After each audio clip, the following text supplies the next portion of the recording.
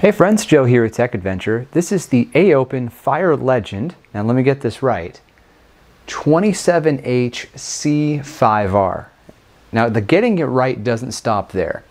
A few years ago I posted a review of an Acer monitor that AOPEN and Acer are the same. They're ultimately the same parent company. And that review got some attention relative to my channel because I referenced the fact that there are two different models entirely, but it's not in the, the, core model identification. So here we go. The same holds true with this Fire Legend monitor. And if you do a Google search right now for this monitor and you just use the model information I've given you, you may find the wrong monitor. So if you want the 240 hertz refresh, which is the one I have here, then this is the additional characters that you need to search for, okay? So ZBMI PPX. Okay, now the other option is this one here. I'm just looking at Amazon. The PBIIPX.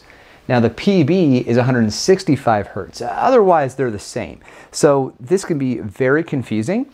And again, because of the difference between the two that's so subtle, the price delta could be really attractive. So you might think 165 hertz, plenty for me, in which case right now, because of the sale on Amazon, you'd pay just $180 with free delivery in the United States to get into a monitor that's very simple, similar to the one that I'm reviewing here today. So this review is going to include a physical tour of the monitor, my impressions of course, and some gameplay so you can see what it's like using the thing. If you're hearing the fan noise in the back, it's just because this is my second desk, not my primary desk, and I'm using my laptop which has a 2080 Super Max-Q GPU, but it's a laptop. So the fans are blaring right now because I have Call of Duty minimized. So let's go ahead and start with the basics. What is this monitor? What are you going to find here?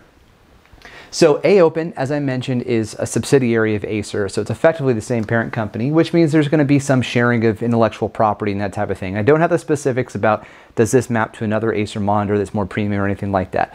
What this is is a plastic chassis 1500R curve. So it's a subtle curve, 27 inch. It's a VA panel, right? So it's not TN, it's not IPS, not LED backlit. It is VA. Now, VA has its advantages and disadvantages. One of the advantages to VA is you can get high refresh rates at a low price. And that's exactly what you're getting out of this 240 hertz.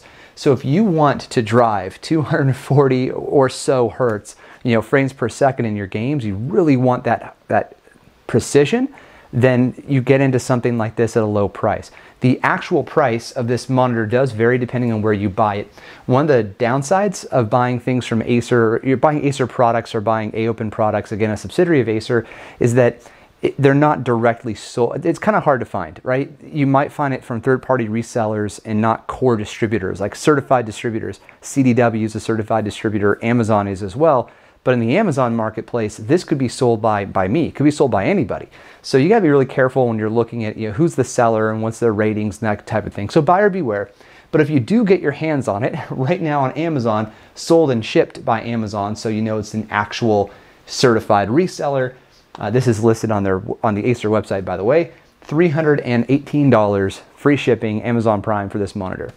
Okay, so where does that land in the grand scheme of monitors? There are so many monitors out there, so many different cuts of monitors and flavors, TN, VA panels. I just listed a whole bunch. You have OLED, QLED, different manufacturers like Razer and Samsung. They're everywhere. And it's really hard, in my opinion, to find a monitor that's suitable for you and what you want to do every single day.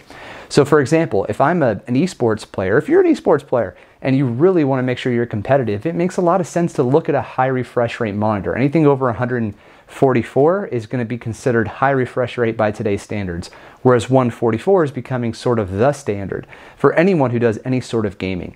If you're strictly an office use user, I guess just turn this off because this is not for you right? The, one of the downsides of VA is you're not going to have really good color reproduction. You're not going to have super sharpness on this display at all because it's 1080p across 27 inches, so low PPI.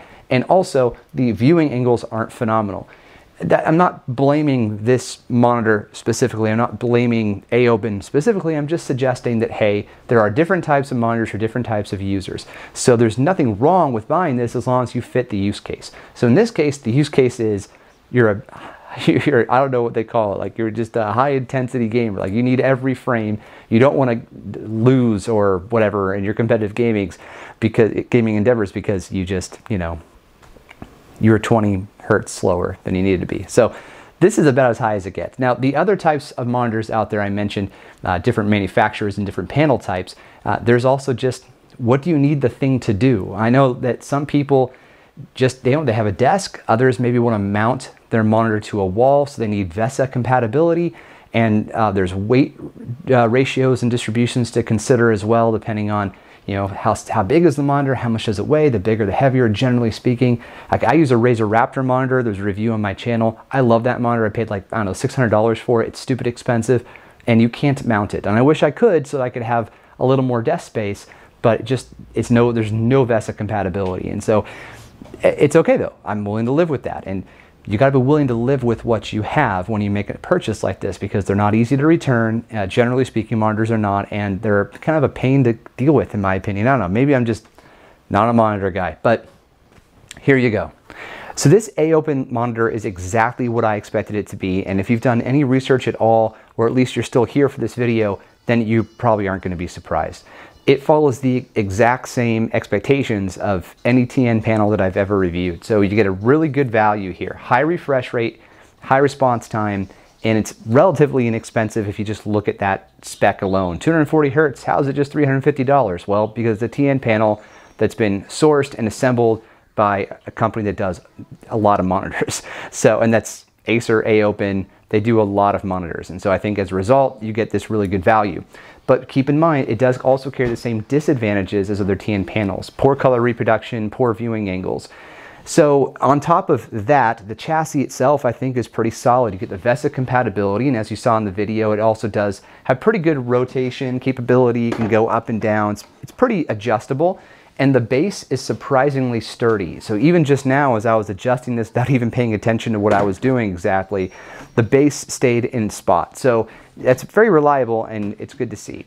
So for a 27 inch 1080p display, it's not the kind of thing that I would buy because I'm not really into super high frame rates. I have a 1440p 27 inch panel that does 144 hertz and I'm pretty happy with that. So if you have the hardware to drive it, if you really feel like you need to have that level of precision, then this makes a ton of sense. And it's easy to recommend to someone who's looking for that.